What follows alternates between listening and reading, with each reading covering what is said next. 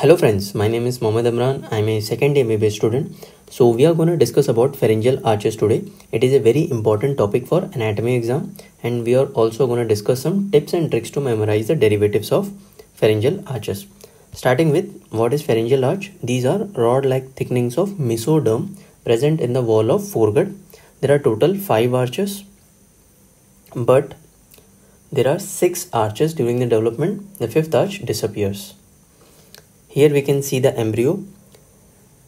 And uh, this bulging produced by developing brain represents head and stomatodium represents future mouth.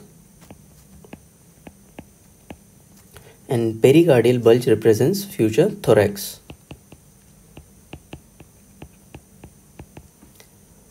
As we can see there is no neck in this embryo. So neck would be formed by elongation between stomatodium and pericardial bulge. And this elongation is mainly due to appearance of a series of mesodermal thickening that is pharyngeal arches. Now coming to the coronal section through cranial part of foregut, in this image we can clearly see ectoderm, endoderm and mesoderm and there is buccopharyngeal membrane and primitive pharynx is derived from foregut and this would get developed into this image that is there would be mesodermal thickening as found in pharyngeal arches. The mesodermal thickening would lead to the formation of arches that is first arch, second arch, third arch, fourth arch, fifth arch would disappear as soon as it is formed and sixth arch. There are total five arches first, second, third, fourth and sixth. What would happen to ectoderm and endoderm?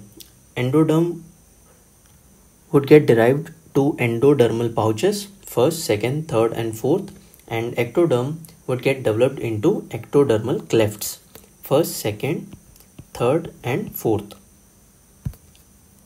The structures to be seen in a pharyngeal arches are there would be development of nerve muscle cartilage and aortic arch now coming to the derivatives of the skeletal elements, the skeletal element that is formed from the pharyngeal arches.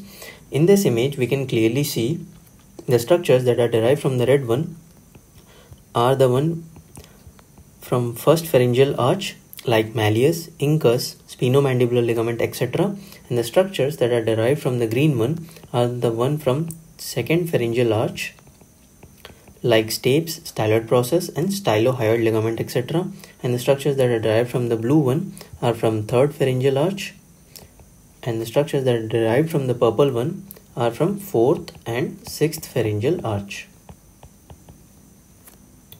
Now we would study this in detail how to memorize the structures that are derived from various pharyngeal arches. The cartilage of first arch is called Meckel's cartilage now how to remember the structures that are derived from first pharyngeal arch? We can remember it by three things like middle ear, facial bone and there are two ligaments. In middle ear, we know that malleus and incus is present in middle ear. So malleus and incus are derived from first pharyngeal arch while stapes is derived from second pharyngeal arch. And uh, facial bones like maxilla, mandible, palatine, zygomatic, temporal these all are derived from first pharyngeal arch and there are two ligaments which are derived from first pharyngeal arch. First one is anterior ligament of malleus and second one is sphenomandibular ligament. Now coming to the structures that are derived from second pharyngeal arch. The second pharyngeal arch is also called hyoid Reichert's cartilage and it can be remembered by 5S. First one is stapes, styloid process, stylohyoid ligament, smaller lesser cornu of hyoid bone and superior part of body of hyoid bone. These all are derived from second pharyngeal arch. The stapes, the middle ear structure that is derived from second pharyngeal arch while malleus and incus are derived from first pharyngeal arch. In the structures that are derived from third pharyngeal arch is exactly opposite to this. Greater cornu of hyoid bone and lower part of body of hyoid bone.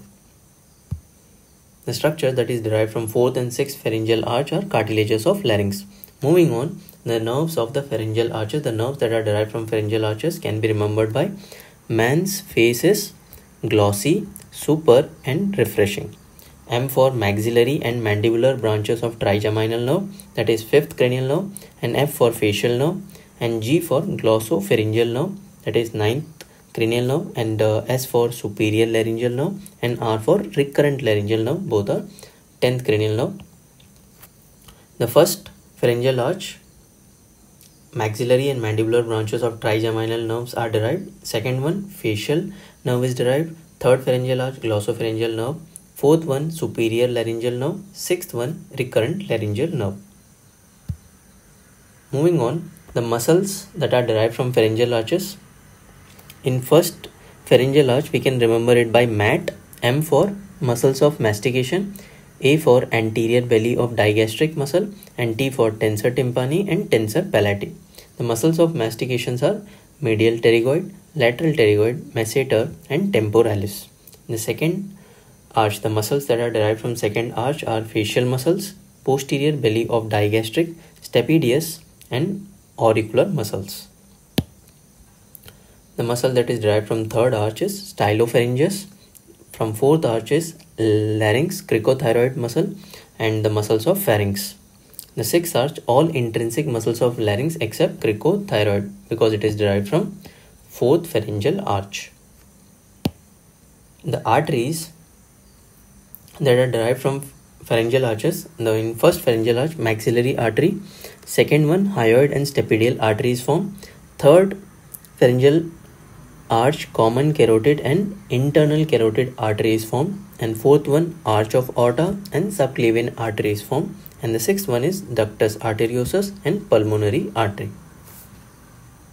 Thank you for watching. Hope you like this video. Make sure you hit the like and subscribe button for more videos related to medical field.